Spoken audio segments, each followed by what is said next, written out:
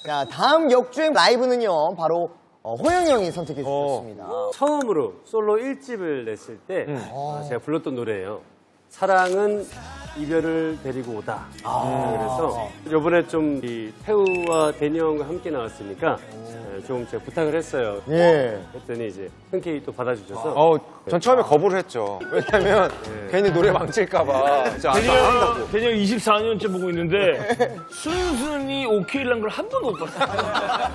랩이 들어가요. 네, 그러니까 원래 랩이 없는데. 네. 그래서 난 안 하겠다. 아, 예. 네, 근데 망칠까봐. 예, 예. 근데 해달라고 해서 준비를 했습니다. 아, 너무, 네, 너무 너무 기대가 됩니다.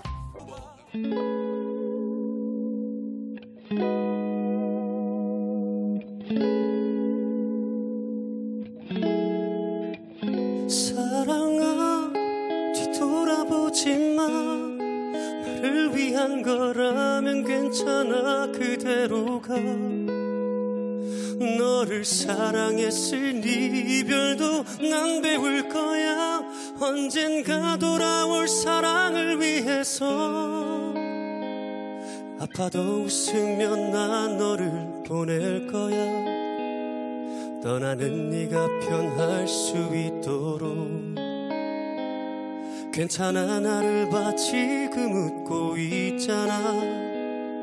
사랑과 이별 다 너와 했으니 너를 사랑했기에 정말 사랑했기에 널 위한 이별도 난 견뎌낼 거야.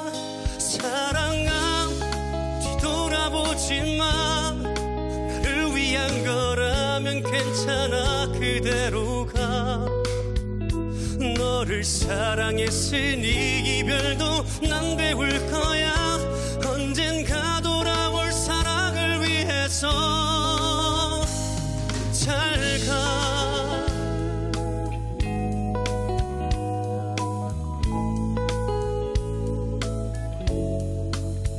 어김없이